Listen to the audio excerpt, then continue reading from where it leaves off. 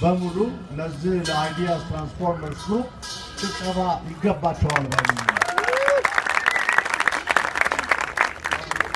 እንግዲህ አዲስ አበባ በብዛት በአዲስ አበባ ሀገረ ስብከት ብዙ ነገር የሚጀምረው የሚጀመረው በዚህ ሰበካ ነውና ይሄንን የ Ideas Transformers ንቅናቄ በዚህ በአዲስ አበባ ሀገረ ስብከት ብቻ ሳይወሰን በመላው ኢትዮጵያ እንደሚስፋፋ ተስፋ አደርጋለሁ።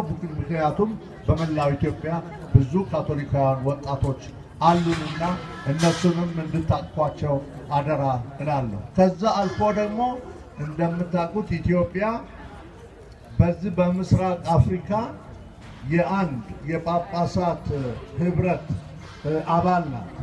ምን ይባላል ያ የጳጳሳት ህብረት? ማን ነበር የሚባለው? አንቺ። አዎ በኢትዮጵያ ኢትዮጵያ የጳጳሳት ህብረት የምስራቅ አፍሪካ አባል ናት። ያ የጳጳሳት ህብረት ምን ተብሎ በአህጽሮተ ቃል ይታወቃል? እንዲያውም ጸሎት እያደረግን ነው።